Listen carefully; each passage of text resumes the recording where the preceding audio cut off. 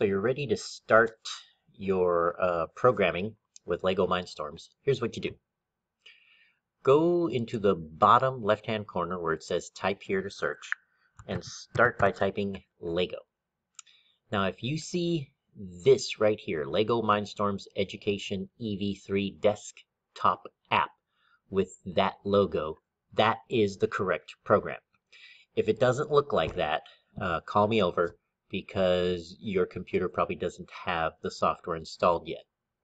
But since this one has it, I'm going to launch it by clicking on it once.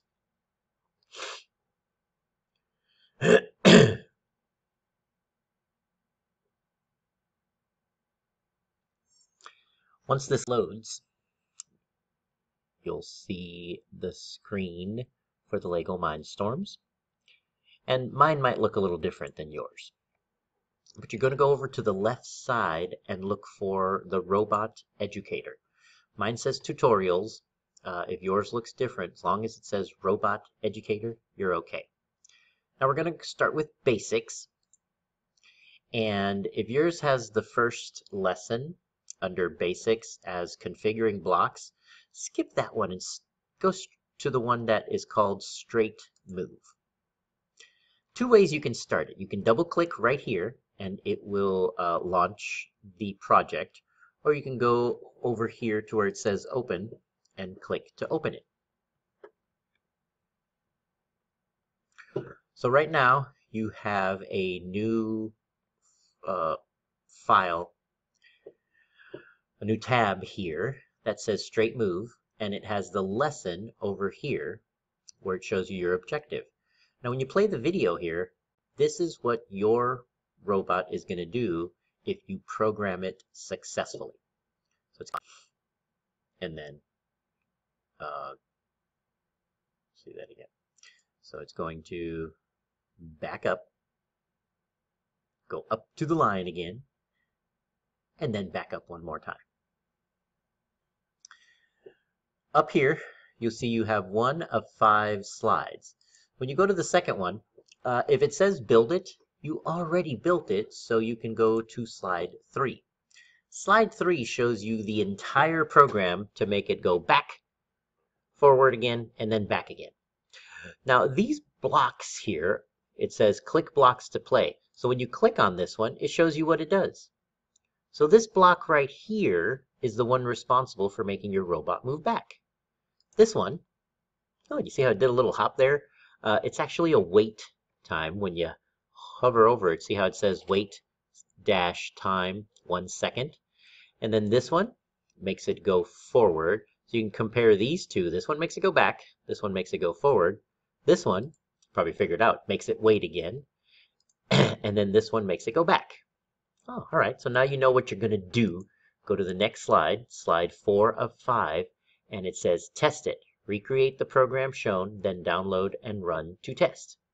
Now here's the nice thing. When you click on these blocks, it highlights in blue the block you need. So you can just click and drag it up here to put it on there.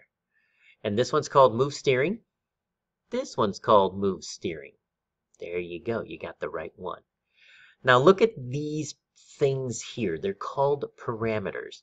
This is how you make the robot or the steering part of the robot, the motors, do something. This one's set to zero, so is mine. Good to go. This one's set to 50, so is mine. And this is steering, this is power, 50%. Now this one is on for rotations, and this is on for rotations. The only difference is they have it for two seconds, I have it for, or two rotations. I have it for one, so I'm gonna change that to a two. There, the rest is the same. Now I go to this next one, Oh, look at that. It took me right to it. I'm going to put the wait block over here. And it says wait time one second. Ooh, look at that. Time one second. I'm good to go. Now I'm going to put another one of these move steering. Now you're going to find out that as you keep putting uh, blocks, it's going to go behind where the lesson is. Well, I don't want that. Here's what you can do. If you try to move this block, it moves separately of all of them. And you see how they all grayed out? That's because without this one, your program won't start. So I'm going to put this back. I'm going to show you a trick. If you click on the white and hold down, see how I've got a box? I just selected all the blocks at the same time so I could move it down here and continue to put on the next block. So I'm going to put on the next block and I'm going to make sure they look the same. This one is move steering degrees. Oop, this one's on for rotation. So if I click here, oh, look at this. I can change what it does. Uh, I needed degrees, so I'm going to choose on for degrees. This is zero. This one's minus 50 and then 720 degrees. So I'm going to change that to minus 50 and 720 degrees. Now the wait block is still one second, and I've got mine for one second. And then this one, all right, let's see, this one's move steering for seconds, one second. So I'm going to change it again, off, on, up, on for seconds. There it is, 0, 50, 1. I've got 0, 50, and 1. There, that is perfect. Now, before you test it, let me show you a couple of things that I, I recommend you do. This is called the Straight Move Project.